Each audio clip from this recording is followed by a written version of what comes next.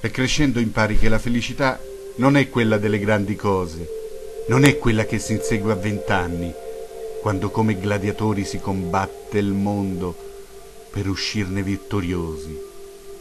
La felicità non è quella che affannosamente si insegue credendo che l'amore sia tutto o niente. Non è quella delle emozioni forti che fanno il botto e che esplodono fuori con tuoni spettacolari. La felicità non è quella di grattacieli da scalare, di sfide da vincere, mettendosi continuamente alla prova.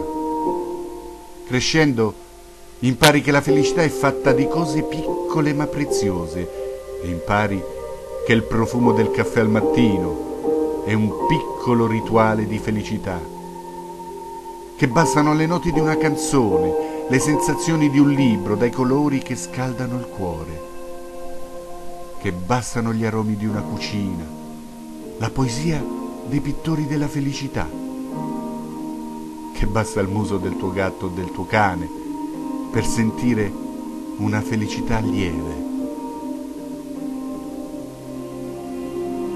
Impari che la felicità è fatta di emozioni in punta di piedi, di piccole esplosioni che in sordina allargano il cuore, che le stelle ti possono commuovere, il sole far brillare gli occhi. E impari che un campo di girasoli sa illuminarti il volto, che il profumo della primavera ti sveglia dall'inverno e che sederti a leggere all'ombra di un albero rilassa i tuoi pensieri. E impari che l'amore è fatto di sensazioni delicate, di piccole scintille allo stomaco, persone vicine anche se lontane.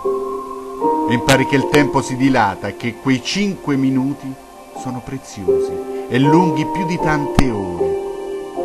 E impari che basta chiudere gli occhi, accendere i sensi, sfornellare in cucina, leggere una poesia, scrivere sul libro o guardare una foto per annullare il tempo e le distanze ed essere con chi ami e impari che a sentire una voce al telefono, ricevere un messaggio inaspettato, sono piccoli attimi felici ed impari a avere nel cassetto e nel cuore sogni piccoli ma preziosi.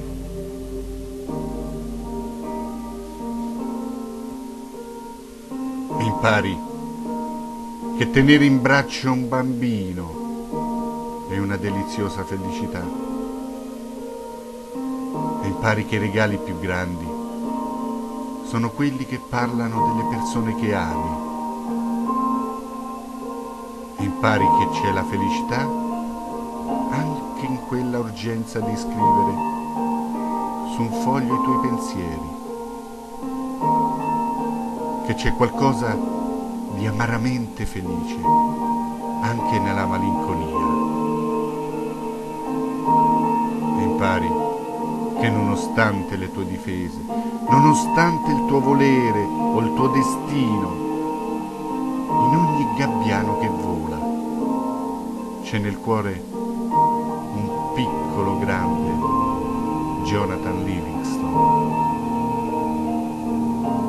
E impari quanto sia bella e grandiosa la semplicità.